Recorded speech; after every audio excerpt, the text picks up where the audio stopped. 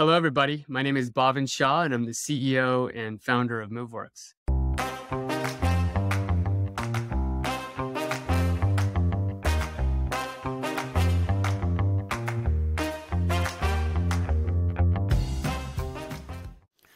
Sure you would have heard of this new tool called ChatGPT. It can answer questions like a knowledgeable human being. This is probably the future of how we search for information. But did you know that within the enterprise space, chat for solving routine business issues is already an established product category? In this episode of the Founder Thesis podcast, your host Akshay Dutt is talking with Bhavin Shah, the co-founder and CEO of MoveWorks, which helps companies become more productive through a chat interface for solving employees' IT-related issues. Bhavin has had an amazing journey growing up in the Bay Area and living and breathing the startup culture of Silicon Valley, surrounded by the giants on whose shoulders we stand today. Bhavin started his first venture in the edtech space way back in 2005, and his second venture was in the social networking space, which was eventually acquired by LinkedIn. His current venture, MoveWorks, is worth $2.1 billion and is operating in the massive enterprise productivity space. Stay tuned and follow the Founder Thesis podcast on any audio streaming app to learn about founders from India who are changing the world.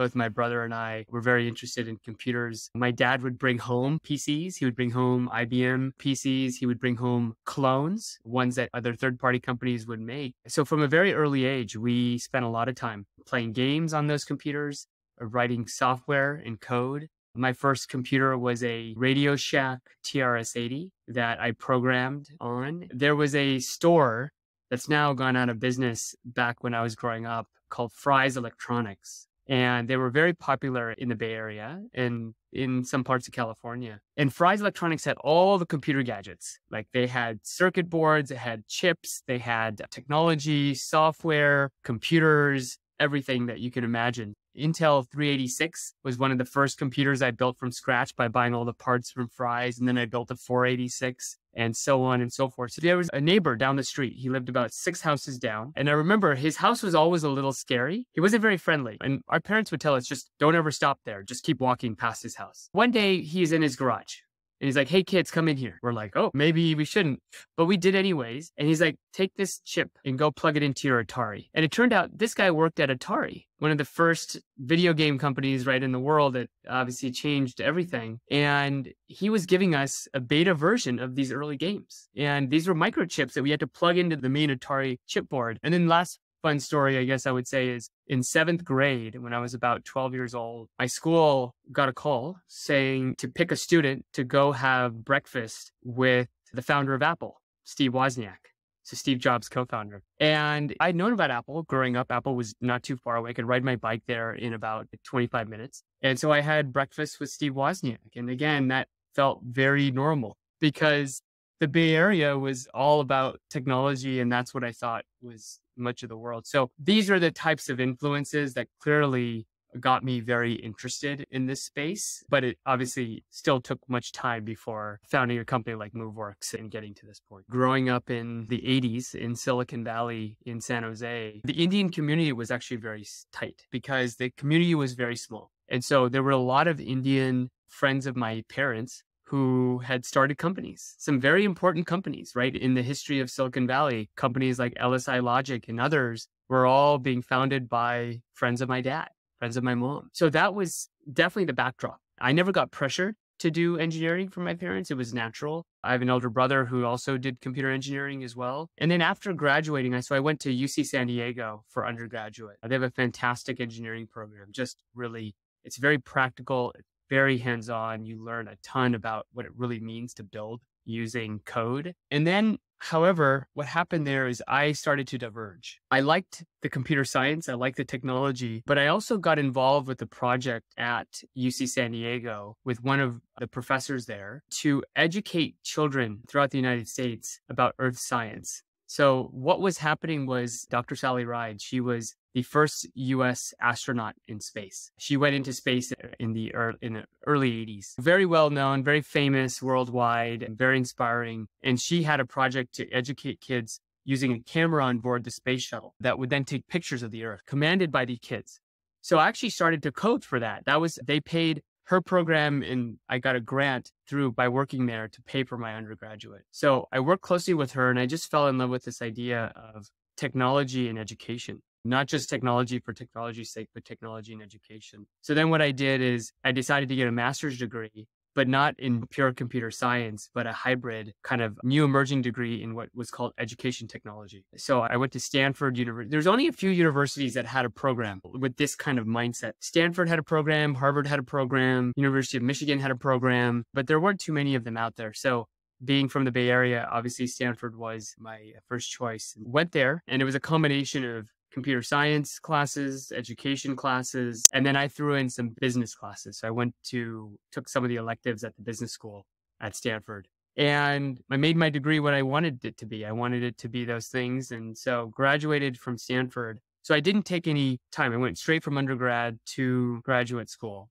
And then, obviously, having graduated with a slant towards education technology, I met two founders of a company called Leapfrog which was an educational toy company. And at the time, they were a small company, about 60, 70 employees. And they were like, wait a minute, you've been studying education technology? We, we built a company to do this. This is fantastic. You know, would you like to join us? So I joined Leapfrog in 2000 when I graduated from, from grad school. And over the next five years, the company grew tremendously to 1,200 employees, became the third largest toy company by market cap in the United States after Mattel and Hasbro. And we went public on the New York Stock Exchange in 2002. So I learned a ton there, Akshay, about what it looks like from the inside to see a company go from something very nascent to something that's publicly traded I learned a lot about product. I learned a lot about engineering, but it was a really fulfilling and fun first job, but also a place where I could soak up and learn just about how everything worked in a company. So Leapfrog was selling like STEM kits and DIY stuff for kids to learn. Uh, like that was what they were doing. Leapfrog was well known for its several products, but its focus as a company, generally speaking, was to educate kids on how to read phonics. So basic reading. And so they had this product called LeapPad, which was a plastic kind of book that you opened up as a, and had technology inside and it had a pen. And when you moved the pen on any point, it could detect where the pen was. So you put these books down and they had books, storybooks and science books and technology, education books and reading books. And kids could actually touch the word and it would say the word. They could sound out the word. They could learn how to spell. They could go through these little quizzes and little games on the pages. This became a $500 million, $700 million business for Leapfrog annually. So it was a very large business for the company and became one of the most well recognized brands in America, in particular for educational toys. The culture at Leapfrog was interesting because Leapfrog was uh, headquartered in a town called Emeryville. And Emeryville is just across the Bay Bridge from San Francisco.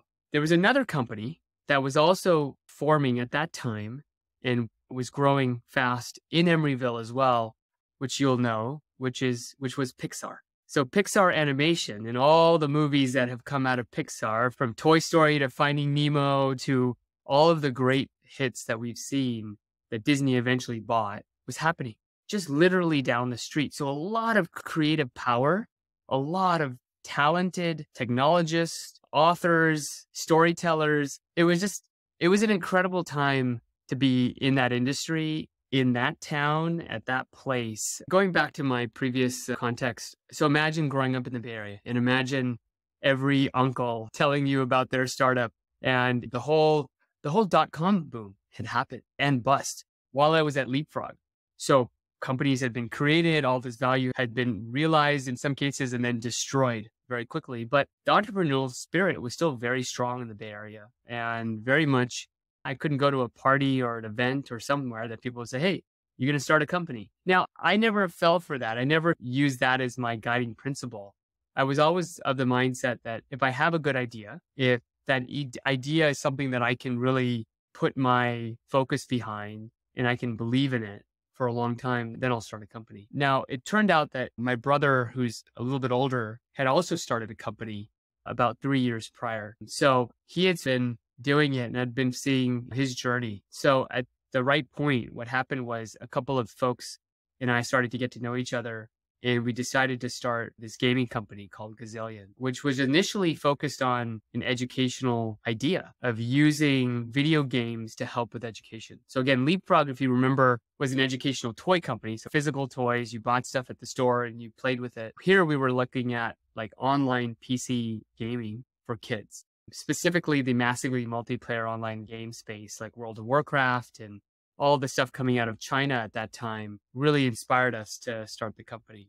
So I did, I was becoming an expert at Leapfrog, thinking about this. I'd done the degree in grad school, and now there was an opportunity to start a company focused on helping kids, helping them learn, but in the new modern way of using very graphical multiplayer games. Was it targeted at the same audience as Leapfrog? Leapfrog would be, I'm guessing, like maybe a two or a three year old till about a seven year old. Yeah, yeah. So Leapfrog was about four years old to kind of 10 years old was their range. The game company was a little bit focused. There's some overlap, probably about seven, eight years old, all the way up to 12 or 14 years old. The initial focus that we started.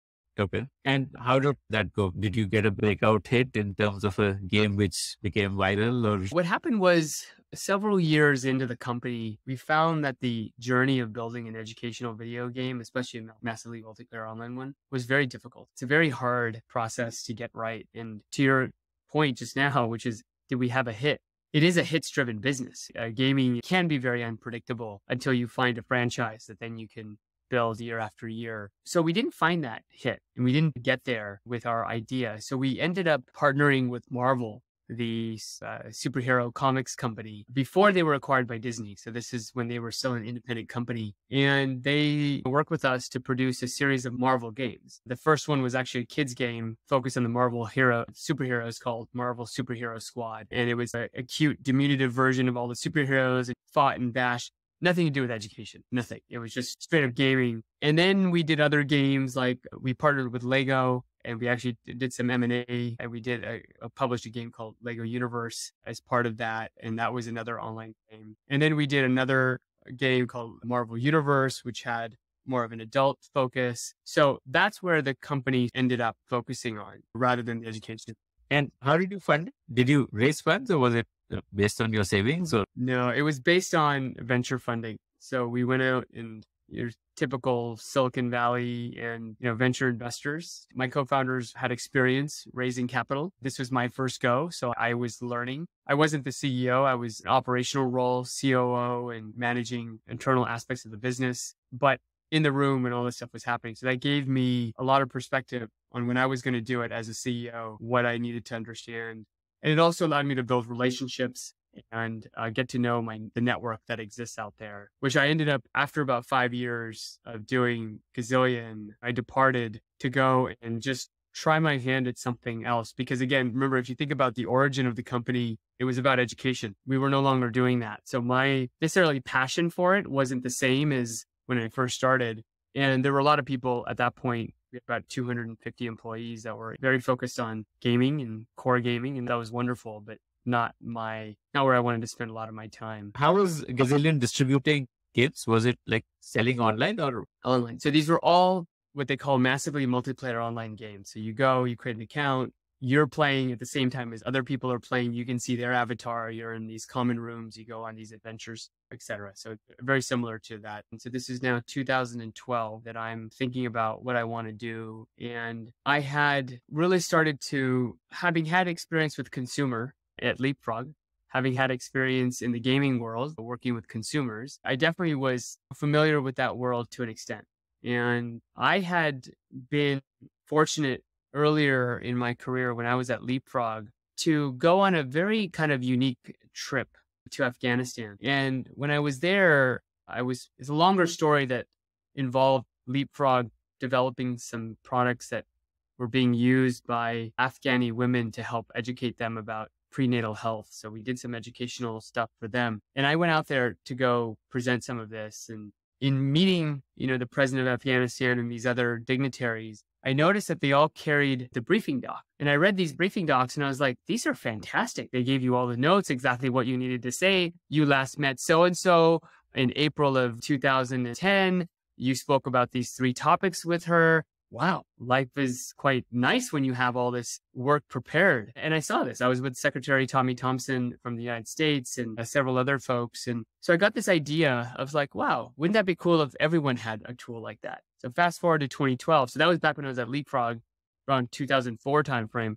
2012, I was like, wonder if we could do that digitally. Wonder if we could build something using Facebook data, Twitter data, LinkedIn data, open graph data, types of kind of information so that before you meet someone, it's like, hey, Akshay, did you know that you and I went to the same college? Or did, oh, I didn't know that based on your Twitter post that you were in Thailand last month. And hey, I've been to Thailand. We can talk about that. So a small talk type of an idea. So we ended up developing a tool called Refresh that was inspired by that.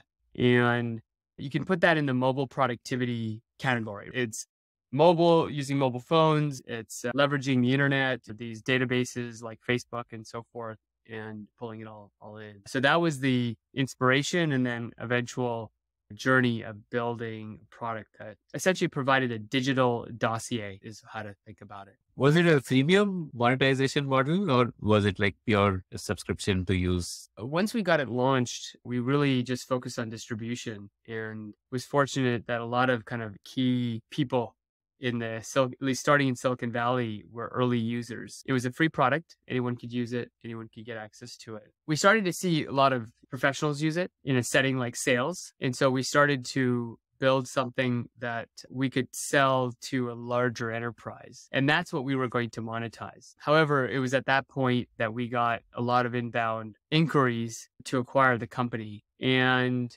we talked amongst ourselves and realized that this was a fantastic idea, but it was still a generally a small idea. It wasn't going to be a massive thing because it required cooperation with all these different third party services. We weren't in full control. You were at their mercy. They could revoke access at any point of time. Yeah, and we were seeing more. It's less so that was a concern. It was more just that the world was shifting too. People wanted more control of their data. They wanted their right to be forgotten, and all of these things started to emerge. So this idea of people data got quite messy. And we also knew that our product would be a great fit inside of one of these larger applications and bring it together. So the team at LinkedIn, who literally was down the street, we were off of a street in Mountain View called Castro.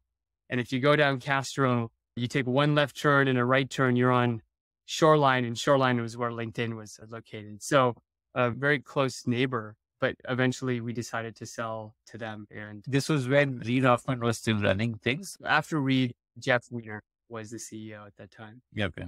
Okay.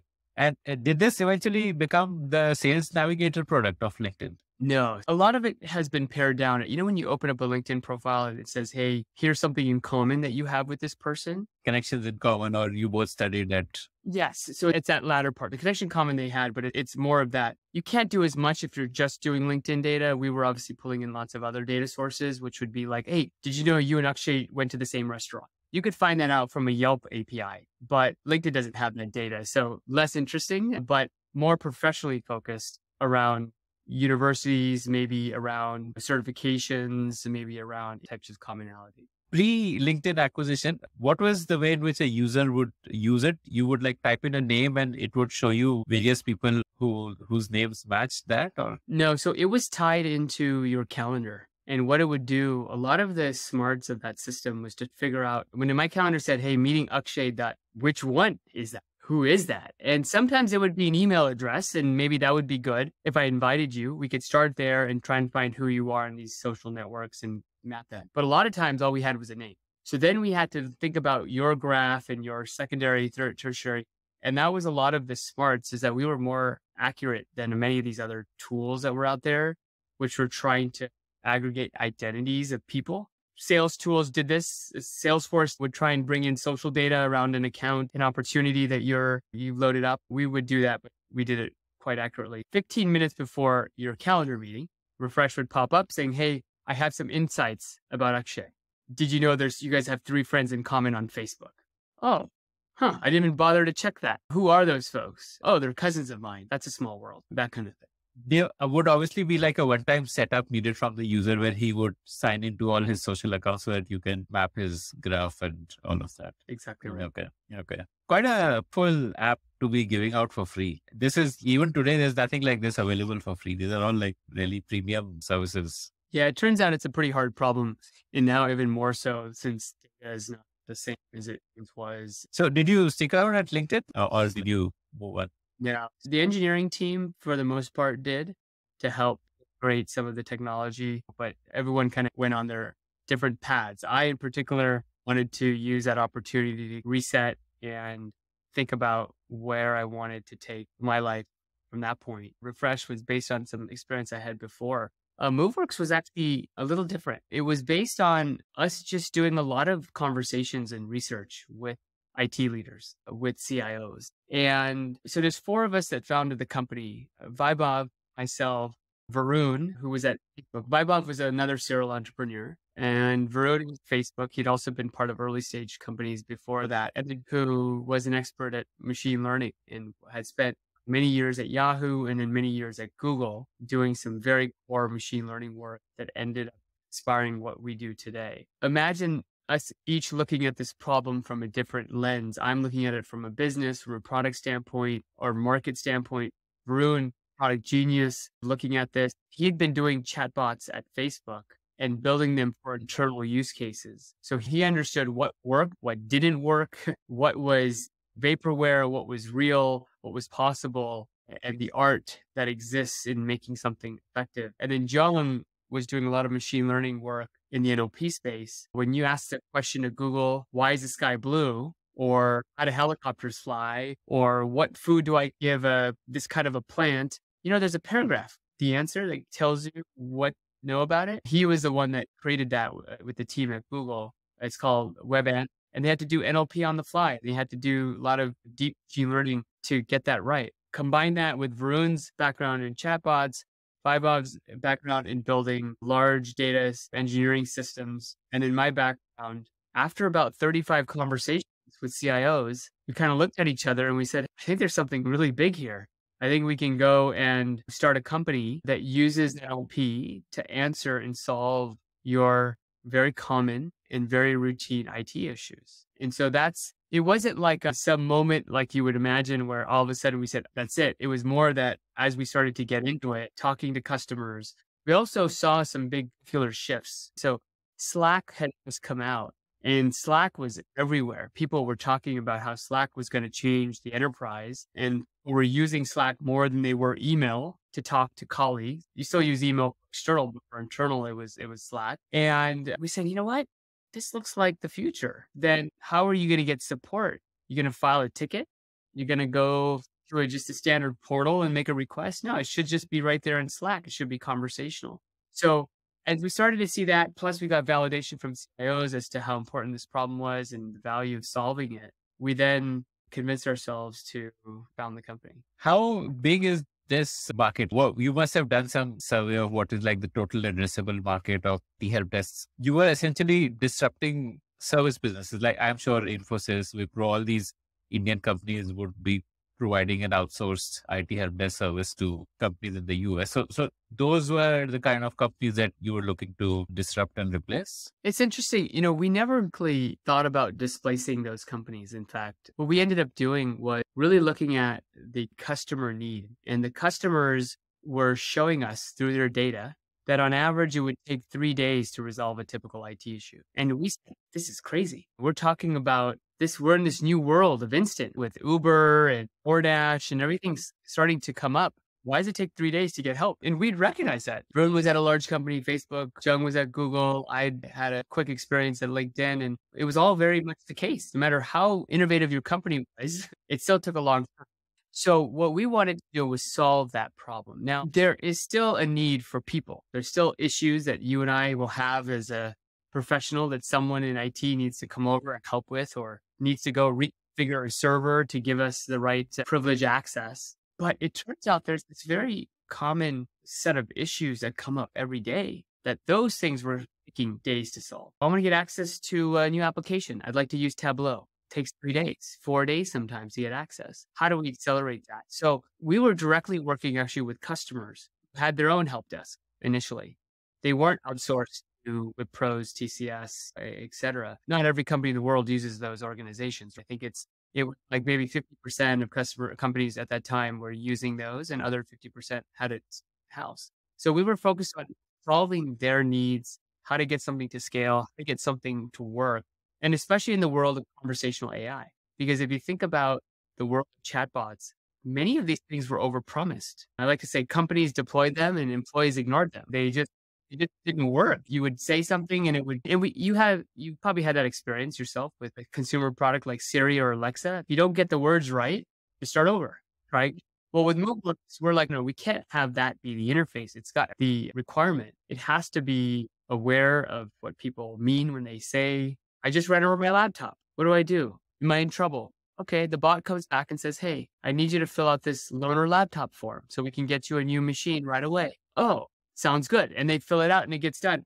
These are small things, but they're very powerful because the companies, many companies in the world have built these automations. They built a form to get a new laptop they built a widget so that you can go and get access to something. But how often do you need to use those? Not very often. So it becomes a discovery problem. Oh, wait, I'm supposed to send an email for this? Oh, I didn't know that. Oh, you want me to fill out this form for that? Oh, I didn't know that either. And so what MoveWorks is doing is bringing all of this together in a very simple interface and allow us to deliver this kind of modern experience on these new platforms. And by then, a few years into this, Teams came out, Microsoft Teams, and they became a very big player in providing chat support within the enterprise, uh, modernizing a lot of companies. So a lot of this came together. And as we started to see it play out, we realized, okay, this was going to be a very interesting company to build. One of the things we noticed, Akshay, was that independent of the company, the questions that people were asking, the help that they needed was very similar. And it was our belief that employees should get help when they ask for it. There shouldn't be a delay. But to do this, and the reason to build an AI company is not to build something that requires a lot of professional services and a lot of building from scratch. In fact, we'd seen many companies try this. They use a generic machine learning model or a set of uh, sort of language models, and they would go to each company, try and build a chatbot that would understand use cases. That doesn't work. In fact, it wasn't working for anyone. Customers were telling us we deployed these things and no one uses it, it doesn't work. So what we found was that there was a homogeneity, a very common set of issues that we could train and retrain and learn from. And so that gave us strength and the kind of wherewithal to be able to come in and have impact in the very first minute, the very first app that a customer turned our product on. So it was interesting. We looked at some of the stuff that was off the shelf, Microsoft LUIS or uh, Facebook Wit.ai library and different systems out there. And they were good for building something to get started. But if you wanted to build something at scale that works for all these large enterprises, boy, you need to kind of really understand this the basic level and systems yourself. So we all our NLP systems are built internally. They've been built up over time there's not just one model, there's hundreds of models, there's different ensembling of models, there's techniques that we've figured out that when someone says, Hey, can I, can you add Akshay and Bhavin to the finance distro? That's a complicated sentence. You got to figure out who Akshay is, who Bhavin is, finance, which distribution list, distro, alias, what have. So there's a lot of technologies we had to build that in 300 milliseconds or whatever the turnaround is, we understand you mean this Akshay, you mean this Bhavin, here's five different finance distribution lists we could find inside of Office 365. Which one would you like me to add them to? Oh, and now that you want me to add it to, I got to go get the approval from the list owner before I can add you.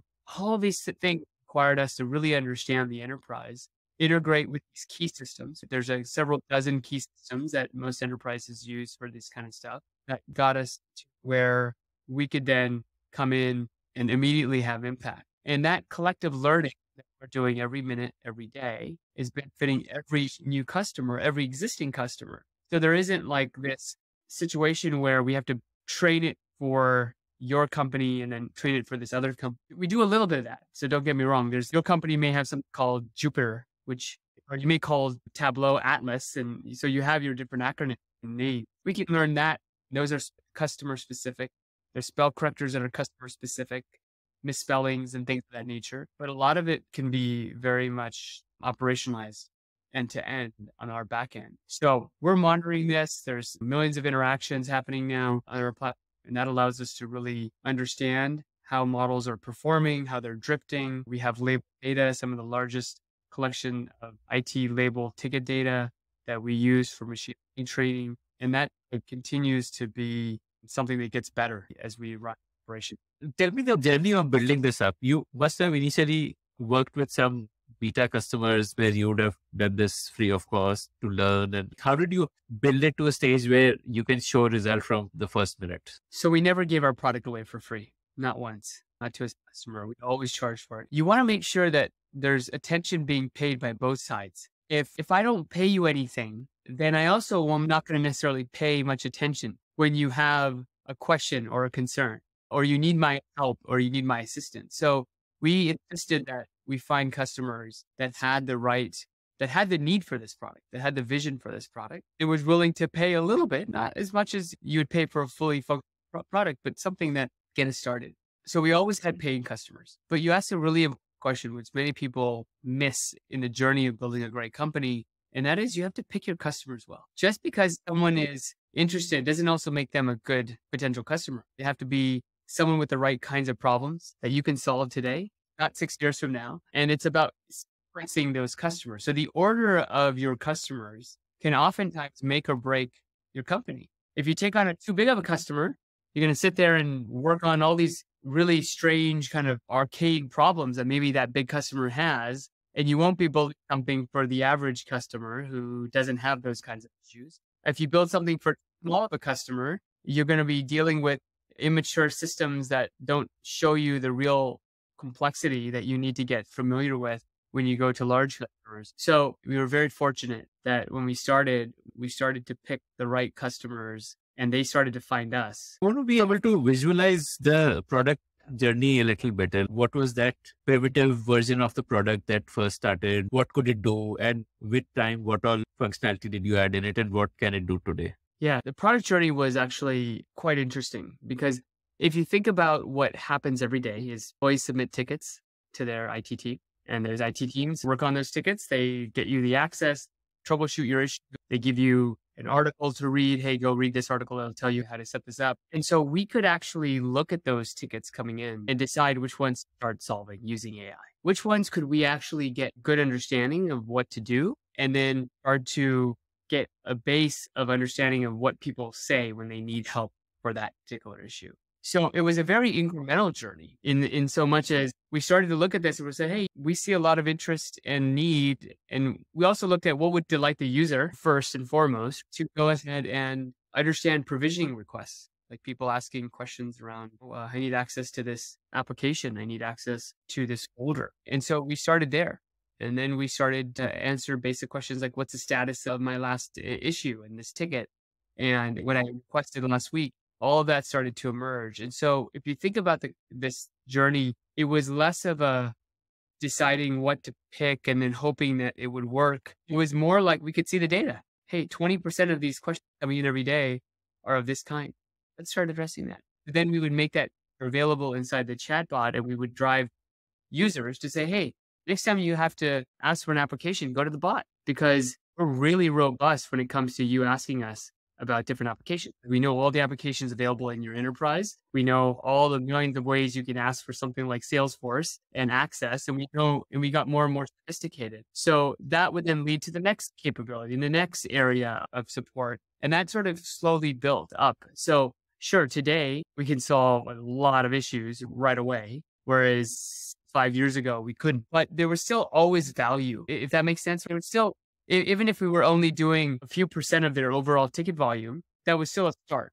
Okay. And it got better and more. And we can, in many environments, do over half of their ticket volume completely autonomously by just by reading the text that we understand now very well. So uh, the bot would, uh, like, for example, log into the Salesforce master user account and then create a new account if someone or change permissions or whatever the request was like. That would be the hard way to do it. The simpler way to do it is to actually use the governance and controls that IT has already built. So if you think about another product like Okta, which people use for single sign on, but also for different access to different applications. They're, they've already built some of those logic into Okta to provision a new account. These kind we talk to, we try and minimize the change that customers have, have to do to support, to, to leverage our product. If you've already got all that built out in Okta, let's talk to Okta. Let's ask, hey, what roles do you have available at Salesforce? Okay, these two roles, great. We'll present that back to the user. We'll confirm which one and then get us that one. And then Okta will do the work to do that, to give you access to Lucidchart or Smartsheets or DocuSign or whatever. We would rather, instead of talking to each application separately, in this day and age, you can just talk to these central hubs. In some cases, if you don't have Okta, if you might be using SailPoint, or you might be using Microsoft AD natively because Microsoft has a lot of these tools as well. Again, people can self-serve in theory, actually. They could go and, but what happens is you don't ask for applications every day. You forget that's how you do it. So using our system, just whatever comes to your mind, type in, see what happens. And if the bot takes care of it, you're like, great, this is done. I'm on to thing. Yeah, okay, okay. So in terms of learning about, you gave the example that I ran over my laptop and so the solution is fill up this form. So that is something which would happen on the fly. Works would see that this is how these tickets are responded to by a human being, and then it would start to mimic the human response. It's important to understand this. We never pretend to be a human ever. It's important to not ever be something you're. Be honest, what you are, you are. You know, in, in your product and in life, I guess uh, they, they would say. So what we do is we are looking for the best way to resolve your issue. Okay. When you type into Google long sentence, what's the battery range for this model, Tesla, model year, etc. Want the answer, don't you? You don't want to have a long conversation about it. You just want to know what the answer is. Google has just tell us what you need and we'll come back to you the best answer. Very similarly, our product works on that premise is that you say, what's your problem? Hey, I just got a new docking station for my Toshiba laptop, but the adapter is not working with the docking station. It works with my MacBook. What do I do? It's the MoveWorks intelligence says, oh, sounds like you need to order a new accessory. Let me help that. We don't have to have a conversation around your Toshiba laptop. Look, in fact, you prefer us not to. You just want to know, hey, what do I do next? Or, hey, I just got a new iPhone and I, I don't have the two factor setup, so I can't log into the work system. So as a result, our system can take that information, go find you the right answer, which might be here's the five steps to how to set up two factor again on your new device. And so then they're like, oh, that's great. That's easy. That's simple. Amazing. Okay. Tell me about like some numbers with timeline. Like how, what kind of top line have you been doing? What what kind of fundraisers have you done till now for MoveWorks? And yeah, so we've raised about three hundred and fifteen million dollars to date from some of the biggest VCs, folks like Bain Capital, uh, Kleiner Perkins, ICONIQ, Sapphire Ventures, Tiger Global, Alkeon. It's a great set of investors, and we did that last year, which valued the company at about two point one billion a year and today we're solving about 40% of employee requests autonomously for some of the biggest brands in the world, companies like Broadcom, Hearst, Palo Alto Networks, Autodesk, AppDynamics, X, and more. We have a lot of different partnerships as well. We have a global partner now with TCS, and we've continued to really build out this kind of vision. We announced our new newest kind of capability with HR. So now we can help you answer HR questions and people have payroll questions. What's my commission for this month? And do I, we can remind you, you've got security training that you have to finish by tomorrow night. All of these things are real friction points inside the enterprise that have been focused on. And I think that much like we are trying to help companies become a great place to work. We also want to be that as well. We were named number one best place to work in the San Francisco Bay Area by Built In. Recently, they did, we did the 2022 uh, one that came out for the Bay Area. We were number two for that. Uh, we were in top company places to work in America. And so a lot of different things that we've been doing. We've been fortunate in terms of the company that we have in terms of team members, about 500 plus employees based in different geos. We have obviously the Bay Area, we have Austin, Toronto, we have a collection of folks in New York that's growing, in Southern California. We have now a Bangalore office. Really excited to continue bringing more folks onto this platform and help us build out this vision. Our addressable market actually every enterprise in the world, because every enterprise in the world has a IT help desk, has an HR a team that answers questions, right? That has the employees that need support. And when you think about that, we're focused on companies with a thousand or more employees. And our product is something that's typically in the six figures to seven figures in terms of US dollars because it does the work for IT in a way that allows them and their teams to focus on bigger projects, migrations, change management, right? These are the big topics today where there's so much happening now there's so much that needs to get digitized quickly that we're able to and do a lot of this mundane work end to end for them. So that that drives a lot of meaning. We price it based on the kind of employee base that they have. How many employees are they supporting? And how can we be a part of that mix? If you've got a thousand employees, see, you're going to pay something very different than if you have a hundred thousand employees. That's how we structure the, the business. For an employee, what is the way in which they access the chatbot? Do they like download an app or is it on the internet or what? Yeah. So it's built into the tool that they use every day, all day long. That's Microsoft Teams, that's Slack, there's Cisco WebEx chat, etc. that people are already collaborating in. So if I'm going to, I just sent a message just a moment ago to my assistant. What did I, I did it on Slack. That's what MoveWorks uses internal. But right there in one of the starred channels is the MoveWorks spot. If I need IT support help, I just go there. Same thing occurs in Teams. It's on the left hand panel. We want to be there because that's where everyone is spending their time. That's where their day is focused. It also gives us presence on their mobile device, on their iPad, on their tablets, on their laptops. So we can be everywhere for them. We also can be accessed through the web. So if you have an intranet, you have a portal, you have a SharePoint site, you have a typical place where employees are looking for help. We're right there. You pop up that it's the same AI as you have inside of Teams, inside of Slack.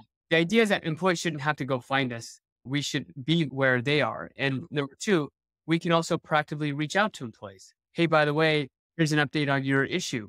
I can help you with this. I noticed your account just got locked out.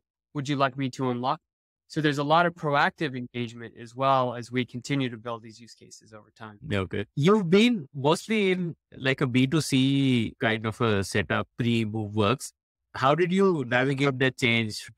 like building an enterprise focused business needs like slightly different skills. And the conversion would probably take months to happen. So tell me about your learnings from that switch from B2C to B2B. Sure. It takes time and didn't get comfortable and familiar for a while. But it was also an area that I found a lot of like energy for. It's like sometimes in life you do things and you're pretty good at them, but you don't realize that you, you're actually much better at something else.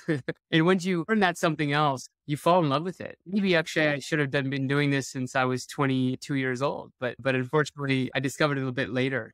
Having the passion for it, we had a customer advisory board yesterday with 12 of our customers, Fortune 500, Fortune 2000, Fortune 100 companies. We just, I just love this space. And our team is so good at what they do that our customers are so engaged with our product. So it is different.